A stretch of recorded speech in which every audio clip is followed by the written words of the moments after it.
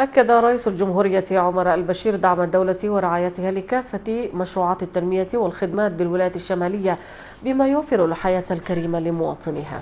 ووجه البشير لدى لقائه والي الولاية الشمالية ياسر يوسف ببذل المزيد من الجهد فيما يلي معاش الناس والمشاريع التي تلامس حياة المواطن ومعالجة كافة العقبات التي تواجهها. وطلع رئيس الجمهورية على مجمل الأوضاع بالولاية مشيدا بأداء حكومتها خلال الفترة الماضية. أوضح ياسر يوسف أن رئيس الجمهورية شدد على ضرورة العمل الجاد لإنجاح الموسم الزراعي الشتوي الذي سيتم خلاله زراعة 420 ألف فدان منها 120 ألف فدان بمحصول القمح. وتعهد البشير برعاية مشروع كهرباء الشيخات بدلجو وكشف والي الشمالية عن زيارة مرتقبة لرئيس الجمهورية للولاية في في يناير من العام المقبل ضمن فعاليات مهرجان الكرم للسياحة والتسوق ذلك لافتتاح عدد من مشاريع التنمية والخدمات بالولاية.